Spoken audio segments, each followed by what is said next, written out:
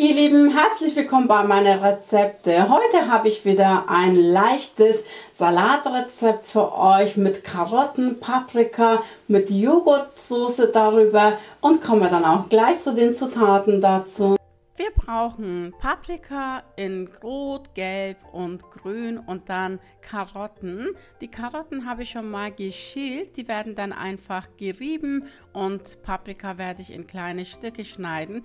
Wie viel ihr nehmen möchtet, ist natürlich euch überlassen. Ich bekomme heute Besuch, deswegen mache ich ein bisschen mehr, aber die Mengenangaben könnt ihr dann selber variieren. Ich möchte euch heute zeigen, woran ihr erkennen könnt, dass Paprika frisch ist, denn das knackt richtig, wenn ihr schneidet. Wenn ihr dieses Knacken hört, dann ist euer Paprika auch wirklich frisch.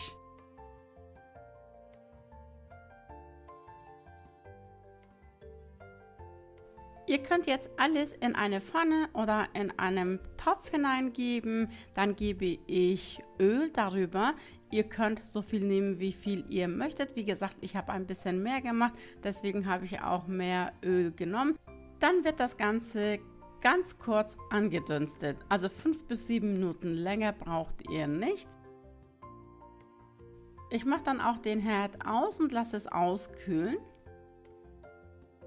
In der Zwischenzeit bereite ich meinen Joghurt-Quark-Dressing vor. Dafür habe ich 300 Gramm Joghurt und 300 Gramm Quark genommen und gebe eine Zehe Knoblauch hinein. Knoblauch habe ich einfach gerieben dann habe ich noch Salz hineingegeben und das Ganze wird einfach miteinander vermischt.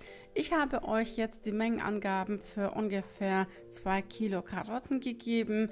Wie gesagt, da ich ja mehr vorbereitet habe, habe ich für mich auch mehr gemacht. Nur damit ihr nicht durcheinander kommt, gebe ich euch natürlich die Zutaten für 2 Kilo Karotten.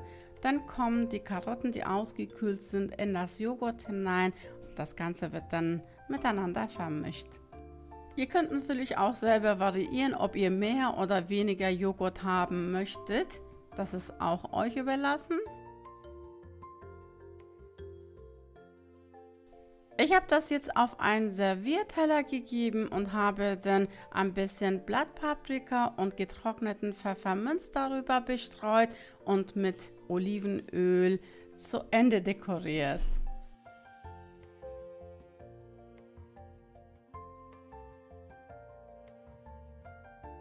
Hoffe natürlich, dass euch auch dieses Rezept gefallen wird. Euch wünsche ich viel Spaß dabei und sage Tschüss bis zum nächsten Video.